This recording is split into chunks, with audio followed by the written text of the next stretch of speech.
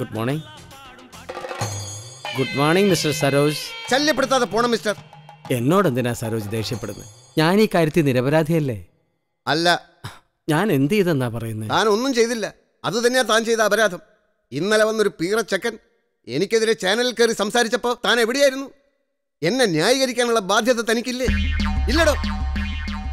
സംവിധായകനും നടനും തമ്മിൽ പ്രശ്നമുണ്ടായാൽ ഒരു ഇടനിലക്കാരനായല്ലേ പ്രൊഡ്യൂസർക്ക് നിൽക്കാൻ പറ്റൂ? സംവിധായകനും നടനും.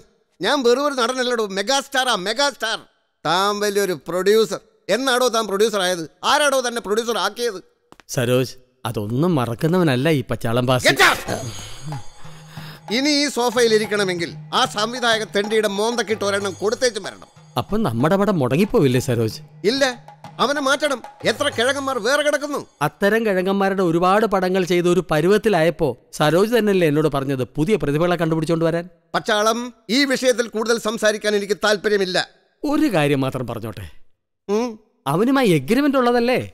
ചുമ്മാ അങ്ങ് പറഞ്ഞു വിട്ടാൽ സംവിധായകരുടെ സംഘടന കൈയും കെട്ടി നോക്കി നിൽക്കുമെന്ന് വിചാരിക്കുന്നു അവന്റെ ഫുൾ പ്രതിഫലം സെറ്റിൽ ചെയ്ത് വിടണം. അപ്പോഴോ? പുതിയതായി വരുന്ന സംവിധായകനും പ്രതിഫലം കൊടുക്കട്ടെ? മാത്രമല്ല അവൻ അവന്റെ തിരക്കഥ തന്നില്ലെങ്കിൽ? തന്നില്ലെങ്കിൽ. ആ. തന്നില്ലെങ്കിൽ ലോഹ്യത്തിൽ കൂടി ആ തിരക്കഥ തട്ടിയെടുക്കണം. പണ്ട് ഉദയഭാനുവിന്റെ തിരക്കഥ സരോജ് മോഷ്ടിച്ച പോലെ? എനിക്ക് ആ വിദ്യയൊന്നും വശമില്ല സരോജ്. ഓ വലിയൊരു മാന്യൻ. ലൈൻ പ്രൊഡ്യൂസർ എന്നും പറഞ്ഞ് കണ്ടവന്മാരെ കൊണ്ട് ഇൻവെസ്റ്റ് ചെയ്യിപ്പിച്ച് കള്ളക്കണക്കുണ്ടാക്കി കാശ് തട്ടുന്ന തന്റെ കീർവാണമൊന്നും എനിക്ക് കേൾക്കണ്ട.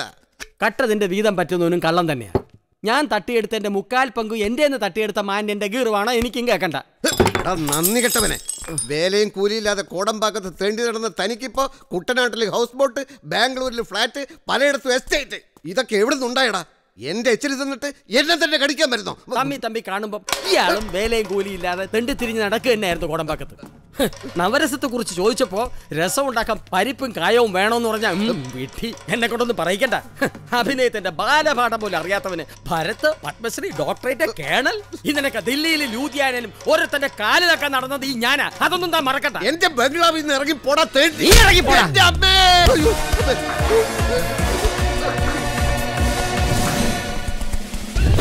എന്റെ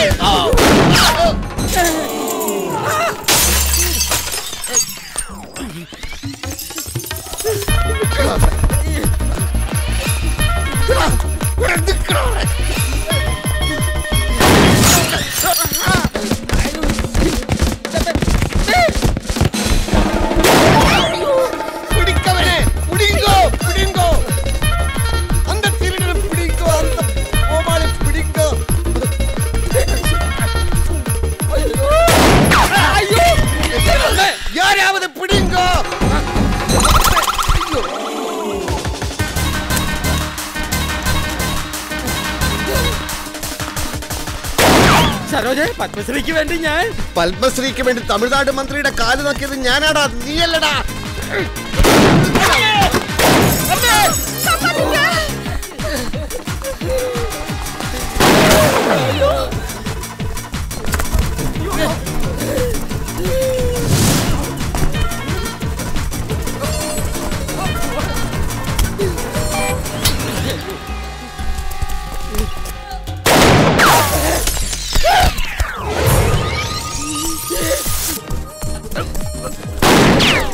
വെടിവെക്കല്ലേ ഇനിയെങ്കിലും വെടിവെക്കല്ലേ കൊല്ലൂടാ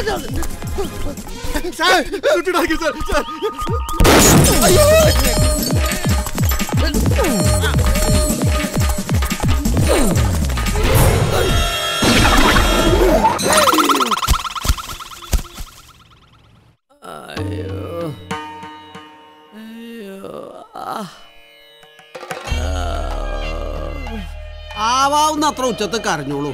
അങ്ങനെ കരഞ്ഞ് കരഞ്ഞ് തളരുമ്പോൾ ഉറക്കം വന്നോളും. അല്ലാതെ അലോപ്പതിലെ മാതിരി വേദന ശയിപ്പിക്കാൻ പെയിൻ കില്ലറോ ബോധം കെടുത്തോ ആയുർവേദത്തിലില്ല. കുറച്ച് ലേഹ്യം കിട്ടുമോ ലേഹ്യോ? എന്ത് ലേഹ്യം? കഞ്ചാവ് ലേഹ്യം.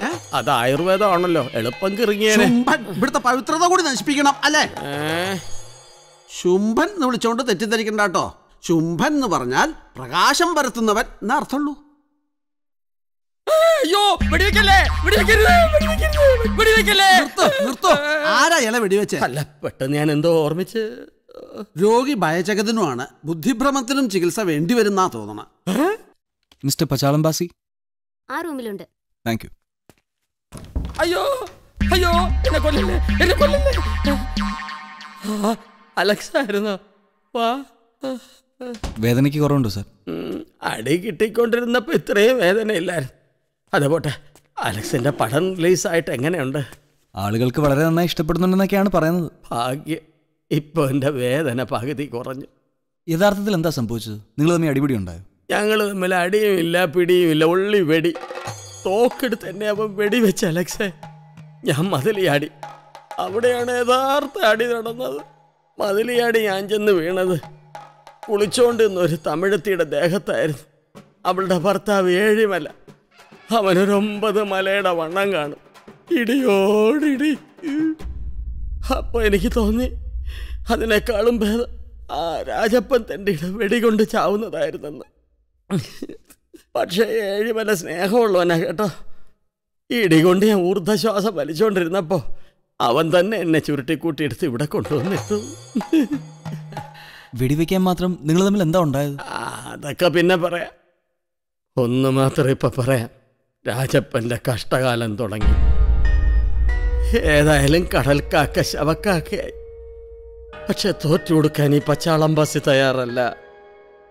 ഈ താരക്കിഴങ്ങന്മാരാരുമില്ലാത്ത ഒരു പടം അലക്സ് മോൻ എനിക്ക് ചെയ്തു തരണം. മുഴുവൻ പുതുവങ്ങളായാലും കുഴപ്പമില്ല. എന്നിട്ട് ആ പടം വിജയിപ്പിച്ച് കാണിച്ചു കൊടുക്കണം. ആരോടെങ്കിലുമുള്ള വാശി തീർക്കാൻ വേണ്ടി സിനിമ എടുക്കാൻ കഴിയില്ല. സാറിന് വേഗം സുഖമാകട്ടെ. നമുക്ക് പതുക്കെ ആലോചിച്ചൊരു തീരുമാനം